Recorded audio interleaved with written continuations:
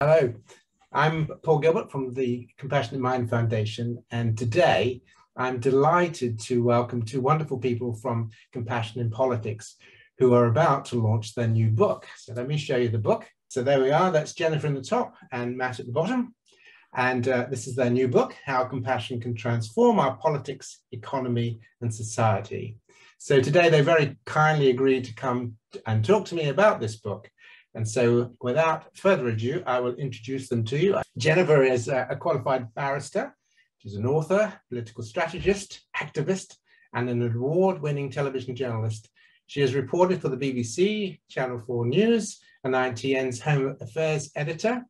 Her report exposing the use of rape as a weapon of war in Bosnia was used by the UN War Crimes Investigation, and she's reported extensively on how the law discriminates against women her most recent book, We, charts how to bring about individual and social change or societal change. Her father came to the UK on the Kindertransport. She is on the board of Inquest, a charity which supports families whose relatives have died in custody. So welcome, Jennifer, and I'll be inviting you to say a few words about your book in a moment. And we've also got here uh, Matt Hawkins. Now, Matt has led a number of social environmental justice campaigns he was part of the Nobel Peace Prize winning team at the International Campaign to Abolish Nuclear Weapons, which successfully lobbied the UN to introduce a ban on nuclear weapons. Most recently, he managed the Equal Civil Partnerships campaign, which secured the introduction of civil partnerships for mixed sex couples. So two really experienced and fantastic uh, activists. Um, so we have this new book for compassion in politics. So perhaps maybe we could start by saying, so what got you interested in compassion in politics and then to bring the authors of this book together? Well, we had both spent a lot of time focusing on social and environmental justice on single issue topics. But what we came to realize is that whether it was homelessness or refugees dying at sea or hunger, there was an underlying cause. And rather than address the symptoms of that cause, we wanted to address the cause itself. And that cause is the edging out of compassion from the political space and the snipping away of the social contract, which largely had a consensus around the idea that we should take over those who take care of those who have least and fall upon hard times. And that has steadily been replaced by a more aggressive competitive self-interest based model of being. Yes, that's that's fascinating. It was since the 1950s. You know, we built the National Health Service and the schools and so on, and um, but then gradually, as you say, that got chipped away with neoliberalism. So this is a, such an important thing you're bringing back into politics, isn't it? It's this fundamental issue about how can we pay attention to those who who need our help. So Matt, how about you? What was your kind of push to bring this book together? Um, so I, I there's a slight personal journey that I've been on, as well as what Jennifer has described about our professional experience working in politics. I had read your book, Paul, um, The Compassionate Mind, and it was helped explain to me and spoke to me both as individually uh, trying to help understand my place in the world, know the different experiences I was going through. But I think crucially, really helped give an explanation for how that journey that Jennifer has described that we have gone on as a country uh, provided a sort of long term looking evolutionary story about how we can develop as a society into one that is hyper competitive uh, and ego focused and individualistic but crucially, of course, how in the right conditions and context we can also be caring, compassionate, cooperative, and inclusive. And so, given that rigorous grounding, I, I sort of wanted to take the words of the book and try and bring as much of it into politics and to political organizing as I possibly could. Uh, so that was what led us to compassion in politics, anyway. And then um, the book itself is an attempt to articulate that story that you have uh, so brilliantly described in other uh, in other publications, and then what would it look like if we took that knowledge and applied it to as many political issues as we can? Yes, I mean, I'm so excited. And I think all of us are so excited by what you are bringing into politics, what you're trying to texture politics with, you know, because you and I and Jennifer, we've had a number of discussions about this. I mean, humans can be incredibly compassionate, but tragically, the last four or 5,000 years, we've been horrendous, actually. I mean, if you think about our, our wars, our tortures, the way we've treated women, and uh, slavery and so forth, humans can be one of the nastiest, most vicious species that have ever walked this planet. So when we talk about compassion, we're not talking about something that's a bit floozy or a bit weak. We're talking about a fundamental way in which we organize our minds, our relationships, and our politics. So that is, I think, fundamental in, in your book, which is a wonderful, wonderful book. Um, how did you begin to choose the, the textures of the book and the, and the authors that you wanted in your book?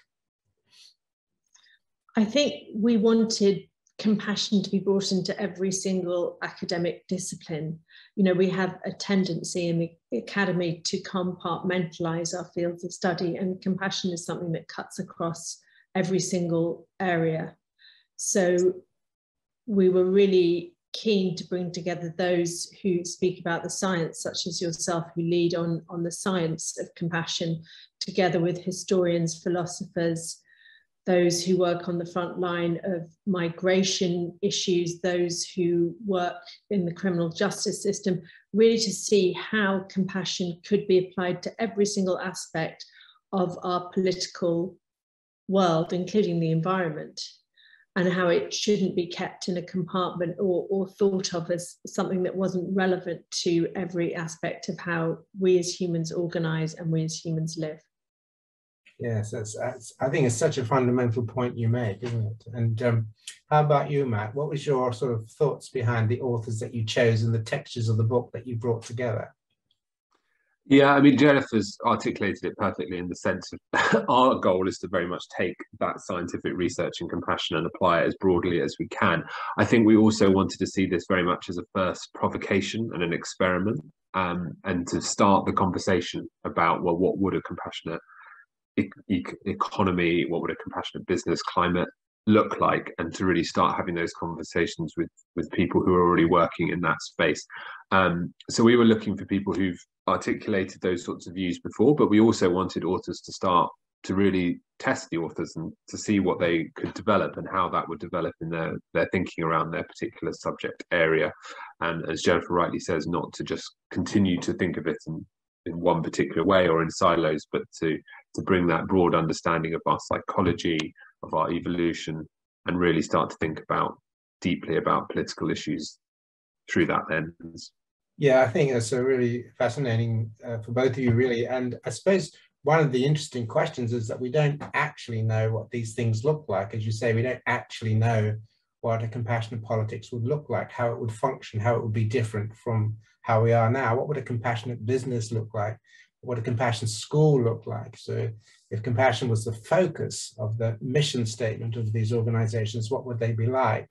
So I think what you're doing is you're bringing these people together, as you say, to think about, so what would it be like? What would be the, the obstacles? What would be the difficulties of bringing a compassion orientation to politics? So I think that's just extraordinary. Um, so what, what do you hope will be the um, effect or the outcome of your of your book? Well, we hope that conversations will start to happen across across the academic world and also across the activist world. It, I don't know if you found this, Paul, but we found when we started Compassion in Politics, people were cynical or, or tended to dismiss the idea as an oxymoron or good luck with that and tended to think of compassion as something light and fluffy and we were dismissed in much the same way as women have historically been dismissed as a nice idea but not very practical and not tough enough for the real world. And you know what the incredible work that you have done on the fact that compassion requires courage it requires an overriding of natural fears inhibitions and blocks is that we've been able to explain to those we work with and take into the political space your science, which shows that in fact it's incredibly courageous, that compassion is, is hard, that it's tough, and that it can have a really dramatic change on how we function. And of course, in Parliament itself, that's a very, very real issue because we're dealing with a polit politics that is is very triggered at the moment. Everyone is in a, a, a, state of fight or flight. There's a lot of aggression, and there isn't much room to create a safe space where conversations could happen in a generative field where people were able to talk with nuance, where people were able to admit they're wrong or able to admit their doubt, because everyone is so defended that that has really become reputationally impossible, certainly in this country, and I would say also in the US. I think I was just going to add to what Jennifer has said. I think, in terms of what we wanted the book to do, I think one of the accidental factors about the timing of the book coming out is that a lot of those conversations are starting to happen. One of the things we find is that not always politicians are willing to have those. There's some very notable exceptions, but they are stuck in a context and a system that they um, have sort of come to accept, one which is very competitive, quite brutish, um, certainly a, a, place of bullying. Um, but outside of that, people are very clearly calling for something quite different, something much more cooperative, compassionate, and inclusive. So we're able to now offer this book at a time when I think those conversations are starting to happen about deeply about what the culture of our politics is like and how it absolutely has to change. But the book, therefore, also provides a way in to talk to politicians, and the ideas in the book provide a way in to talk to politicians about practically speaking, what can we do to change this and make your life and the life of your constituents an awful lot better? Yes, I think that's very important. I mean, you know, as we were saying, you know, compassion is about courage, really courage and wisdom. And of course, this is not a particularly new idea. That in the Buddhist traditions, compassion was always there to address what are sometimes called the mind poisons or the the, destructive aspects of the human mind, unfortunately, which we have uh, rather a lot. Um, I wonder if you think that, you know, part of the problem we have at the moment is that we've moved our media and our politics into highly competitive. And it's not so much a comp competition of ideas so much, it's a competition of undermining the opposition.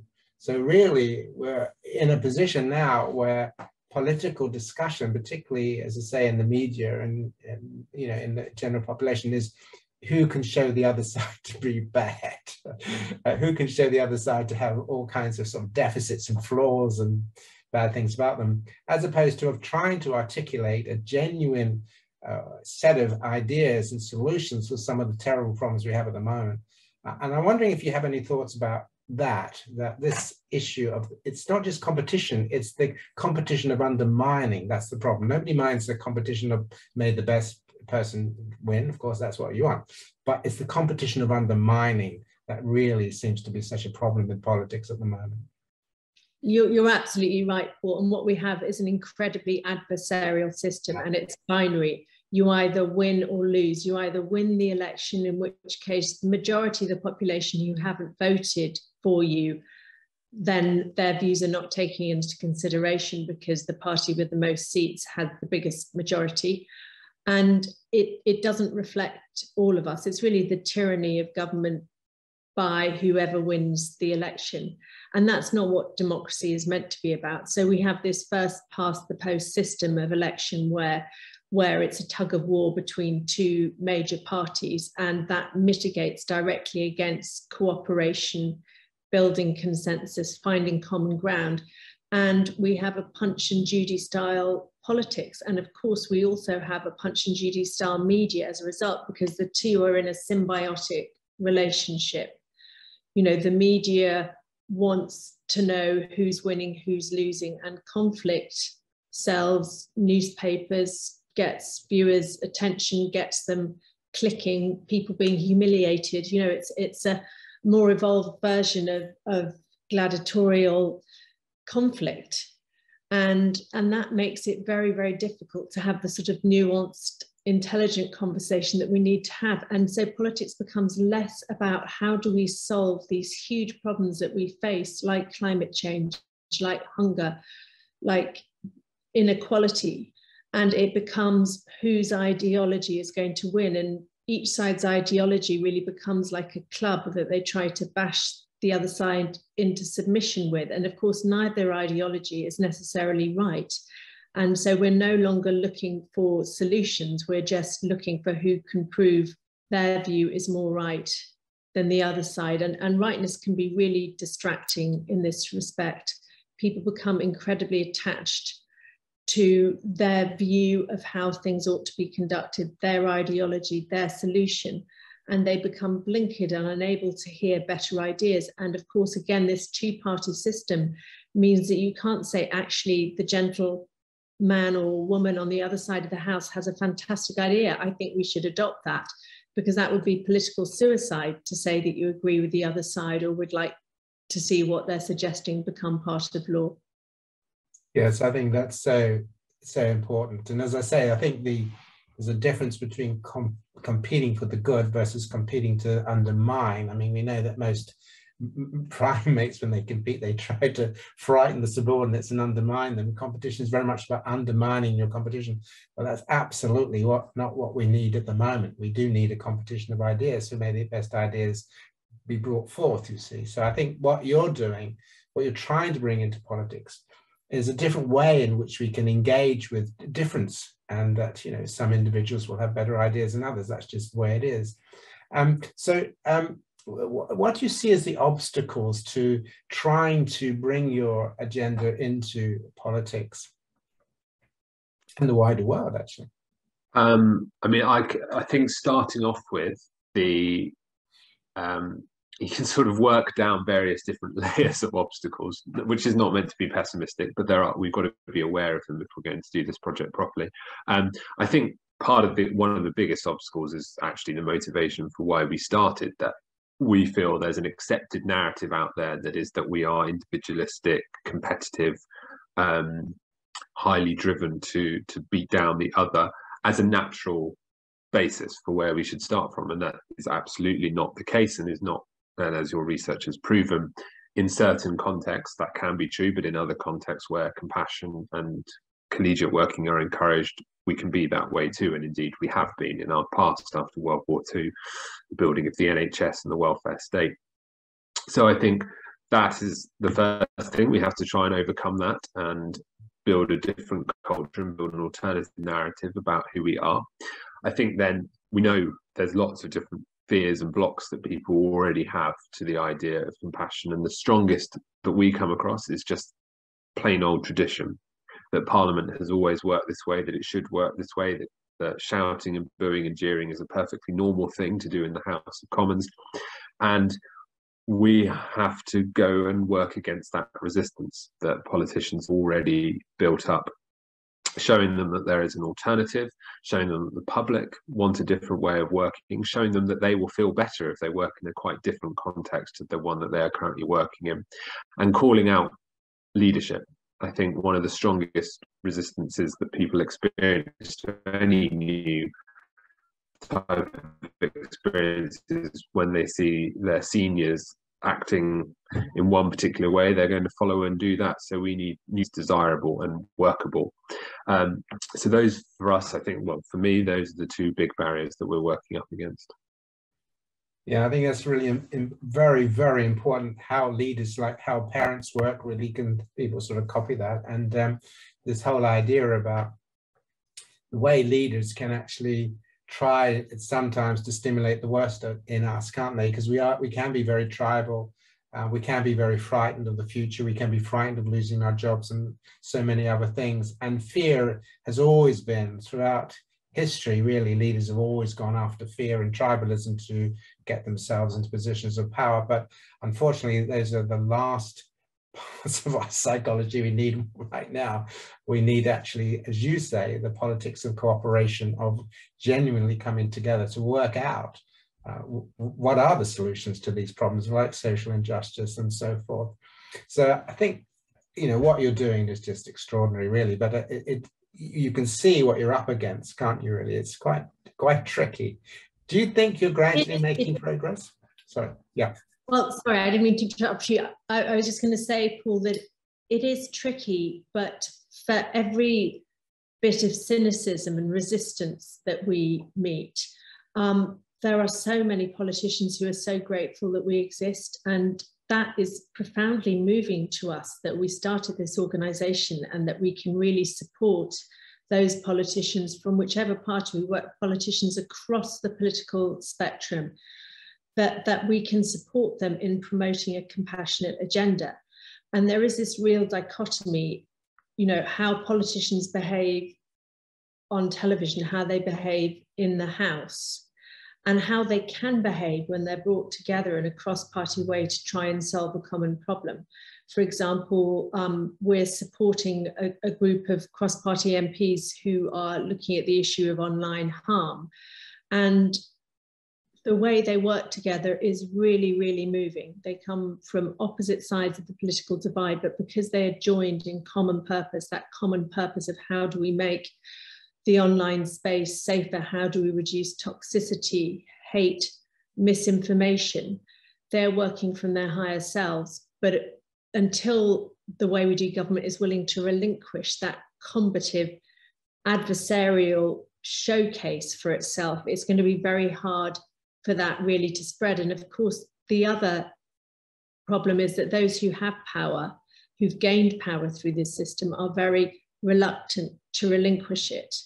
So it's a steady process of, of also appealing to politicians and reminding them why they came into politics. I don't think we know of one politician who didn't come in with a genuine motivation. It may have been mixed up with personal ambition and all of those other things that politicians often bring to bear.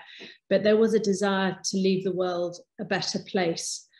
But, but often the business of politics requires an abandonment of that primary motivation. It requires compromise. It requires toeing the party line. It requires saying yes when your instinct says no, because that's what party loyalty requires.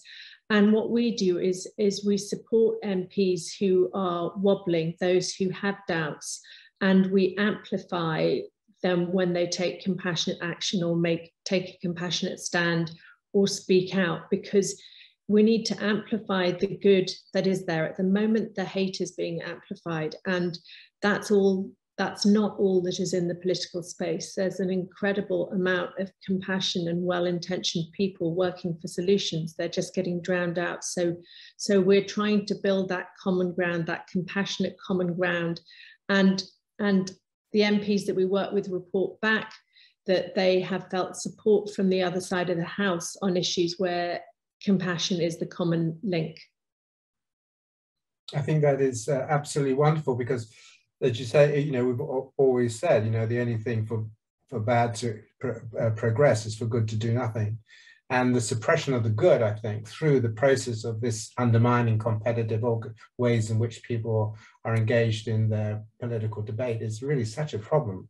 So if we can stop suppressing the good and stop you know, give people the courage and the wisdom to come forward with what they perceive to be compassionate solutions, that's terrific. And I suppose one of the things that gives us heart, and I'm sure you too, is the way that over the last 10 years, we've gradually seen this emerging. So if you could think of the Me Too movement, you could think of what's happening about racism in sport right now, this gradual preparedness to come out and address some of the dark side of, of humanity. So, and, and, and bringing that into politics, because as you say, there are many, many people within politics. I mean, we remember Jean Cox, of course, who just, uh, you know, are, are really dedicated to try to find ways to improve the, the ways in which we live together.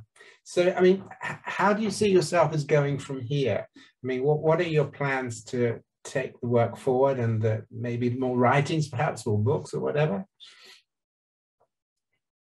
Um, I just wanted to pick up on what you said about Jo Cox, the Labour MP, who was so sadly murdered, and her, you know, her firm belief that there is we have more in common, yeah. and that is really, really the the message that is, that is at the heart of what we do. That we have to focus what we have on what we have in common, not on what makes us different. You know, and that focus on difference has led to this atomized society that is ridden with loneliness and inequality, and it really hasn't worked for any of us. That's the other thing. Those who are winning think this system is working for them, but actually, we know that levels of happiness are far higher in a society where there is greater equality.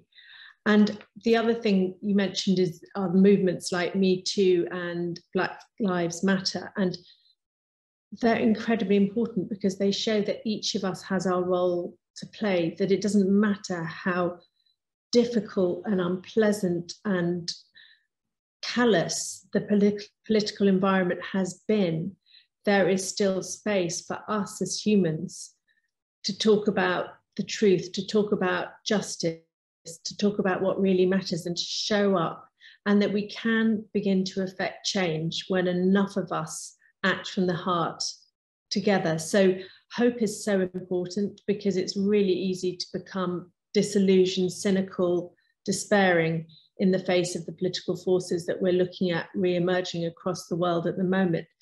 But actually, the strength that we have as humans when we act in a concerted effort and when we all stand up for what we believe in has the power to create a very different outcome that's so inspiring, isn't it? Because that's the root, that is what compassion is the sensitivity to suffering and the determination to address it and dig out its causes. That's what it is. It's, you know, people think it's about kindness or a bit of love. I mean, they're, they're fine, I'm all in favor of loving kindness, but really, really, the core of compassion is this awareness of the causes of suffering and the determination to root out those causes of suffering. That's such an important uh, point you're making, Jennifer. How, how about yourself, um, Matt? Thinking about how where you want to go from here and next projects and things. Yeah, thank you, Paul. Um, I mean, we we generally try and roughly divide our work between um, sort of half our time spent on changing the culture, the processes that are in Parliament in particular, but in politics generally, to create a more compassionate atmosphere. And then we spend the other rest of our time on looking at specific policies that we feel are needed to get more compassionate um, society to do more to improve the case that we don't have a psychologically healthy politics right now, and that needs to change. Uh, there's some specific programs we're working on trying to bring compassion training, sort of work that you've you and the foundation have done trying to bring that into Parliament. We're looking to work on the whipping system in Parliament because that is essentially a type of formalised bullying, changing the way that debates happen, getting rid of the booing and the jeering and the hollering, which just creates an atmosphere of toxicity and inhumanity in our politics, which then spreads out across the country. Um, and then on the policy side, uh, one thing that we're we're really keen on is getting the leaders to agree to a basic broad set of compassionate principles that no policy in the future should be allowed to push people further into destitution or uh, to benefit current generations at the expense of future ones. And in the last couple of weeks, we've seen policies introduced that do exactly that. Change to social care, for example, the twenty pound, the cutting of the twenty pound from universal credit. We don't think those sorts of things should be allowed in a in a country that believes itself to be a compassionate nation. So we're trying to work with the political leaders as best we can to get them to agree that going forwards, that's not going to be allowed. Yeah, that's just wonderful, isn't it? And um, uh, that's so inspiring. um, and at the heart of that, Paul, is your no harm principle. May I be helpful rather than harmful? Because we have successive governments here and elsewhere around the world who are told that the impact of specific policies they introduce will lead to hunger, will lead to homelessness, will lead to suffering, will need will risk a rise in infant mortality. And yet those policies are enacted irrespective of what is known about what the consequences would be. So, you know, the thing I think that we want to achieve most is building a consensus that if you are in government, you cannot introduce policies that harm those you are leading. There has to be a duty of care towards the citizens in, in every country between the government and the citizens. And at the moment, there, there isn't. And governments can knowingly, with complete disregard, enact policies that cause harm and loss of life. And that cannot be acceptable given the, the place that we are in at this time with all that we know, with the wealth that we have globally at our disposal that we willfully enact policies that are going to create real human suffering. Yes, I mean, that's wonderful. I mean, that a, gr gr a grain of awareness, raising of awareness, because I mean, that, as you know, we're working with business and the issues are obviously we need to create wealth or we feel we want to create wealth, but it's how do we create it? What are the goods and services we're creating and do they do harm? Okay, so that's very important. How are people involved in the creation of wealth? because one of the problems we have obviously is that people who don't feel they have a part in wealth creation and with the coming of automation this is going to be a big political issue right how do we try to create a culture society and a world where people can make contributions and they can be part of wealth creation they're not kept out of it and then the third one of course is the big one for politics is how do we decide on how the wealth that the world creates is distributed and I mean, these are huge political issues. These are those three major things. What are we creating and how? Who is involved in the creation and how do we distribute the, the um, products of our wealth? These are, these are massive uh, issues. So, you know, the way you're thinking about this stuff, I think, again, I, I would say is very, very inspiring. So, I mean, I suppose my last question, because I could talk to you forever, um, how could people get involved? Apart from buying your book, which of course I'm I'm, I'm really hopeful people will do after listening to this interview. How, how can people get involved with compassion in politics? Um, I mean, that's a really good start. Buying the book, certainly.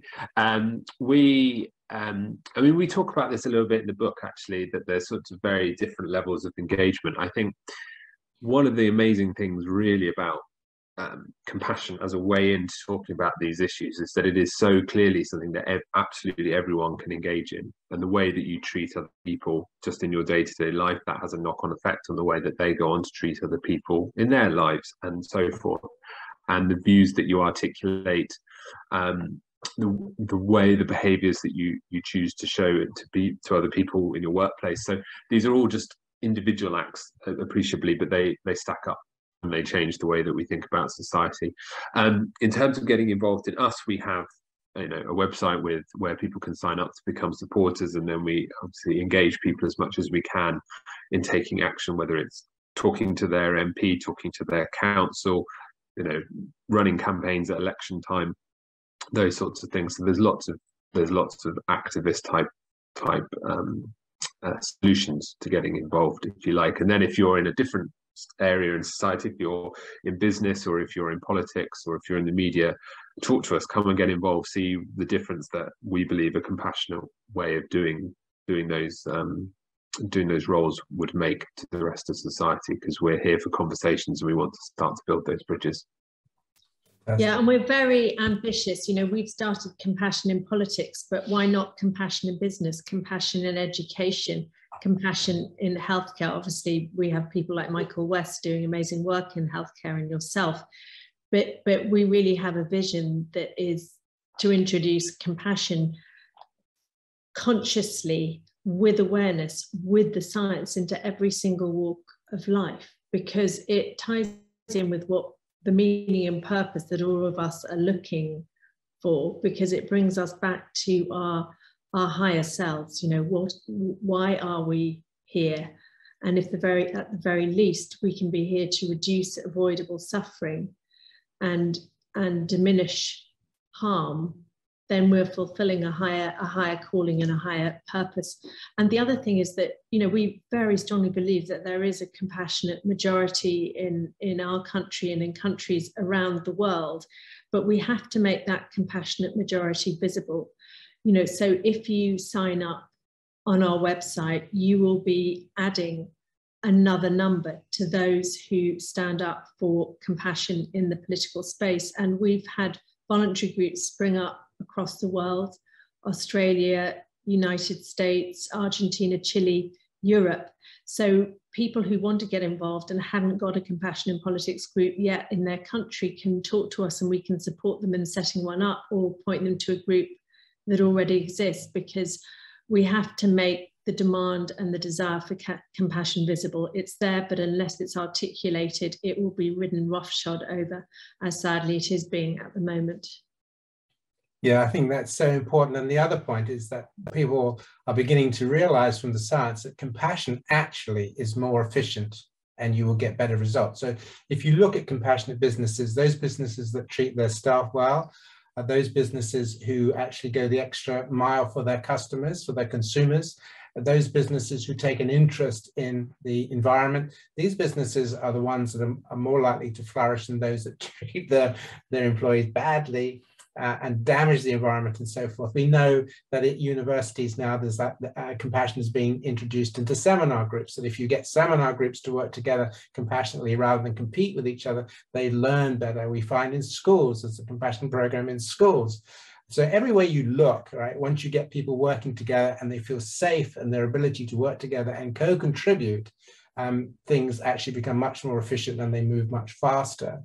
So I think this is really quite important because otherwise people get this idea that compassion is just about being a bit nice, a bit this, a bit that, but not really. I mean, it's a it's a very very fundamental motivation that has huge payoffs. Not only that, but it has huge payoffs in terms of mental well-being that when people feel part of a compassionate society, compassionate group, and they're able to be compassionate to themselves, they're much less vulnerable to mental health problems, stress and aggression and so on. So, you know, compassion is a winner all around, and it's just really helping people see that. That's why what you're doing is such a fundamental movement of actually helping politicians recognize that compassion isn't just about being nice or being a bit moral, it's actually fundamental to changing the nature of uh, ways in which we solve political problems.